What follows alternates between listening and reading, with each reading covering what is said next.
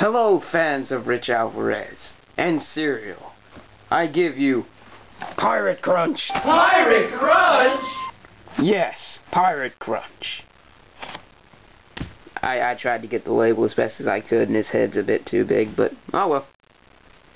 It's Pirate Crunch. Pirate Crunch? Yeah, Pirate Crunch.